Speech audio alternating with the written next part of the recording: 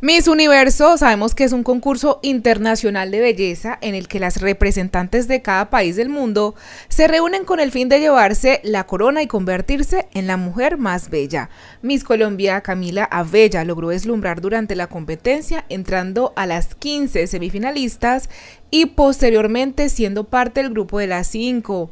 Por supuesto, hubo mucha tensión para las representantes y esto fue más que evidente, y por los colombianos, quienes le hacían fuerza a Camila Bella. Sin embargo, la reina de belleza no alcanzó a llegar a la final del concurso, pues no fue llamada entre las tres finalistas. Aunque se pensó que Abella podría convertirse en la próxima Miss Universo, pues logró destacar en su traje de gala, vestido de baño y sobre todo en la pregunta de qué haría si fuese el último día en donde la colombiana volvió a sacar a flote su rol de mamá y cómo su pequeña Amalia logró cambiarle la vida y por ende las ayudas que esperaba poder gestionar desde su rol a aquellas madres cabeza de familia. Lo cierto es que a pesar de no llevarse el triunfo, logró marcar un precedente en este reinado belleza en su versión número 72, donde la ganadora resultó siendo Nicaragua, así que la coronita se quedó acá en Latinoamérica.